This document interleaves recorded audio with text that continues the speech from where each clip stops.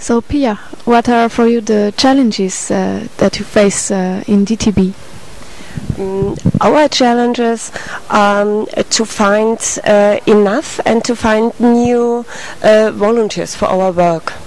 Um, it's a great challenge uh, in our uh, society uh, to find people and to motivate them uh, to be a to be a volunteer. And our our, organization live from the volunteers, and um, we are uh, our work is a good um, how our our volunteers are.